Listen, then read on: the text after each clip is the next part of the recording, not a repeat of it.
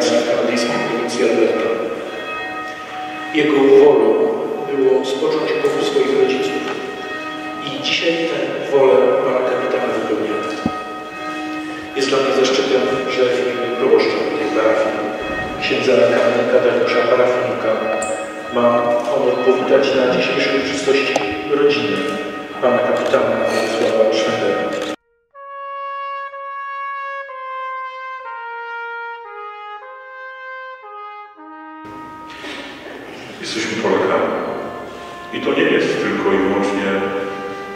stwierdzenie faktu, że urodziliśmy się tutaj, w tym kraju, na tej ziemi.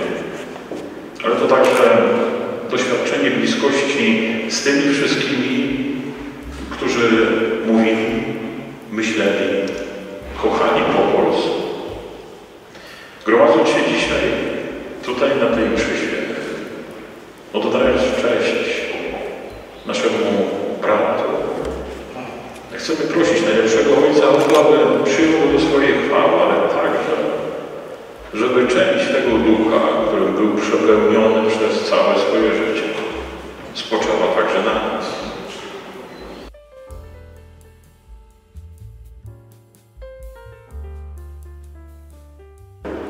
Bracia, nikt z nas nie żyje dla siebie i nikt nie umiera dla siebie. Jeżeli bowiem żyjemy, żyjemy dla Pana. I jeżeli zaś umieramy, umieramy dla Pana.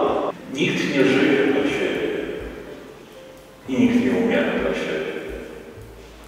Myślę, że jest to bardzo dobry komentarz, albo inaczej. To jest dobre światło, które pozwala nam lepiej zrozumieć postać naszego brata, którego dzisiaj żegnamy.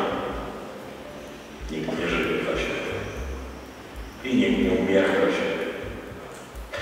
To jest jakaś przeciwna tajemnica, że człowiek, który żył tak bardzo dla innych, przeprze rzeczy niosą w sercu umiłowanie ojczyzny, także przez swoją śmierć i przez to, że gromadzi nas tutaj,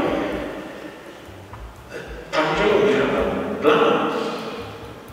Jego śmierć jest służbą, bo służy.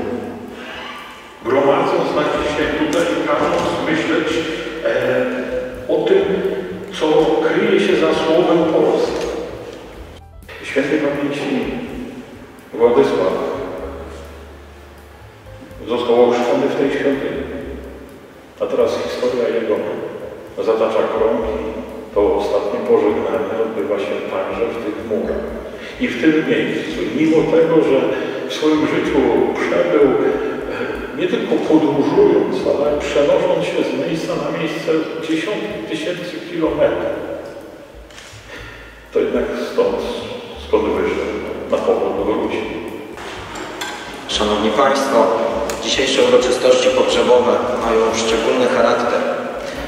Oto stajemy nad mogiłą kapitana Władysława Szwendera, który na wieczną wartę odszedł przed rokiem w kanadyjskim Edmonton. Dzisiaj jednak wypełniamy ostatnią wolę zmarłego, który pragnął, aby jego prochy zostały złożone w ojczystej ziemi.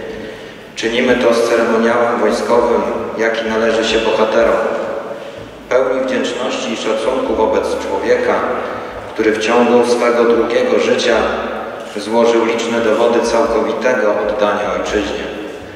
Urodził się w pierwszych latach odrodzonej II Rzeczypospolitej, lecz nie było mu dane doczekać w wolnym kraju dorosłości. Należał do tego pokolenia, które doświadczyło dramatu ponownej utraty przez Polskę niepodległości. Po brutalnej napaści i podziale naszej ojczyzny przez nazistowskie Niemcy i sowiecką Rosję został deportowany do Gułagu w głąb Rosji, z której udało mu się wydostać dopiero wraz z armią Andersa.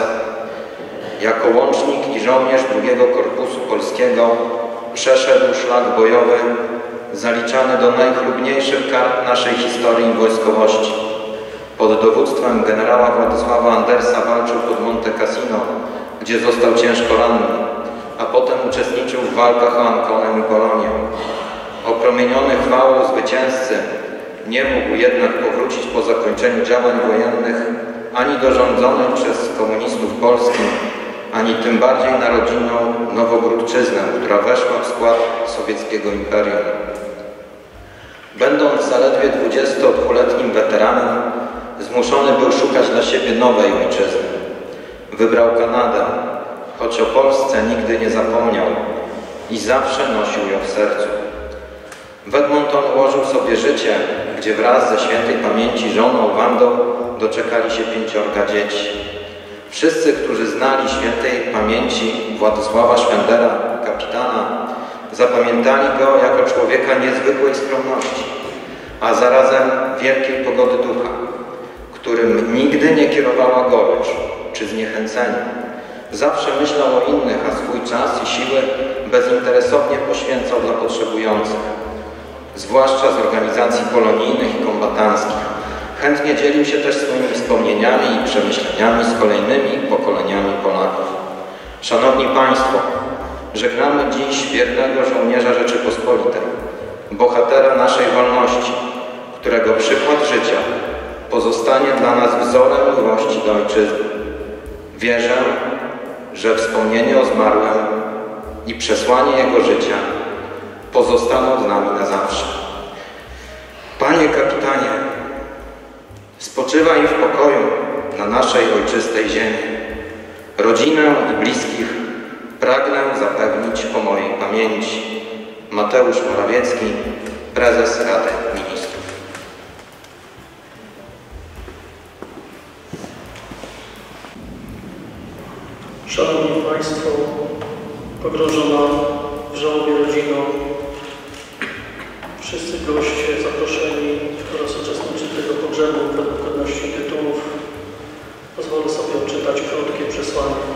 Przełożeń skierował do wszystkich uczestników tego pogrzebu.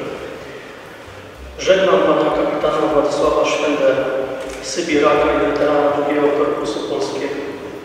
Żegnam, zarazem witam na polskiej ziemi, w miejscu, w którym się urodził Historia życia zatoczyła koło, otwierając się i zamykając w rodzinnym Międzyrzecu Podlaskim. Właśnie tutaj zamyka się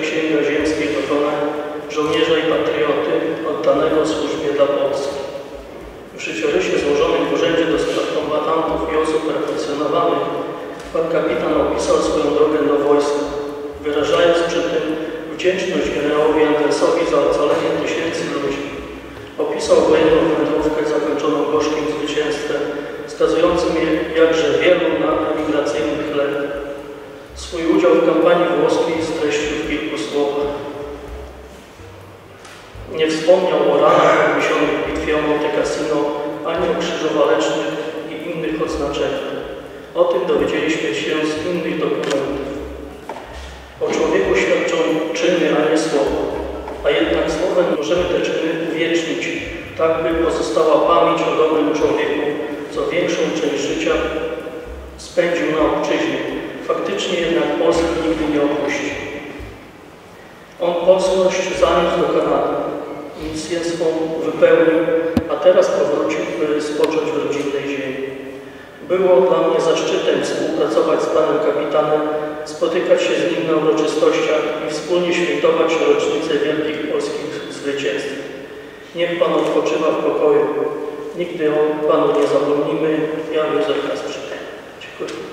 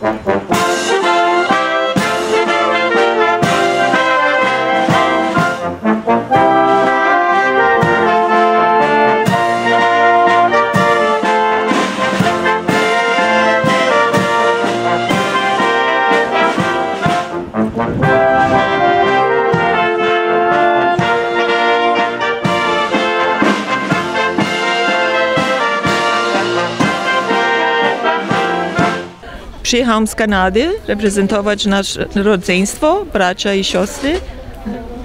Czym dla Was jest ta dzisiejsza uroczystość? Wszystko. Tato by, by, by powiedział po co. Ja tylko chciałam. On by, nie, on by nie wierzył, że tak ludzie jego oceniają. Był bardzo skromnym człowiekiem, bardzo dobrym Polakiem i Kanadyjczykiem. Wszystko kochał dla Polonii, robił dla polskości.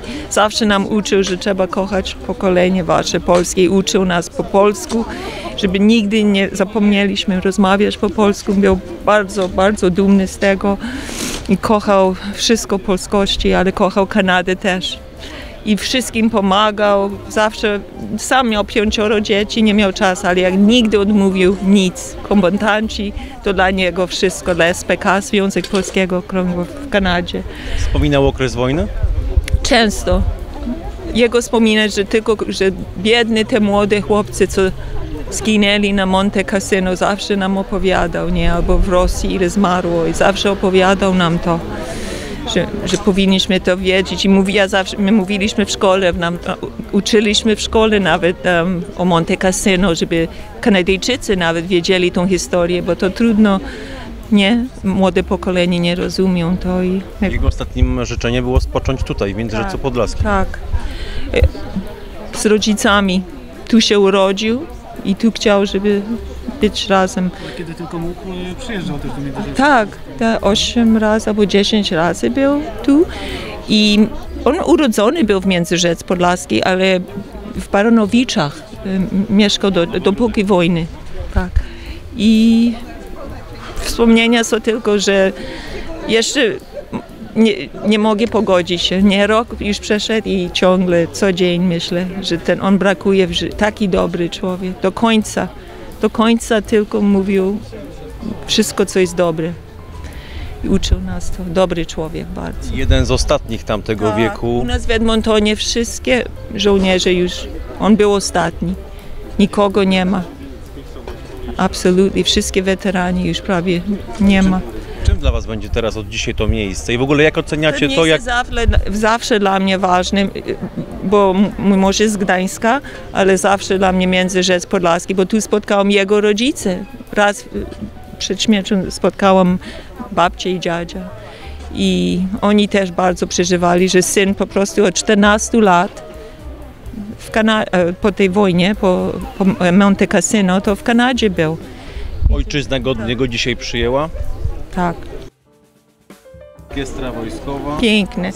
Te młode dziewczyny, co ze mną, moje e, siostry, córki, to w ogóle oni w Kanadzie, to mówisz, jak będą oglądać, to, to na, za, dla nas to jest coś pięknego.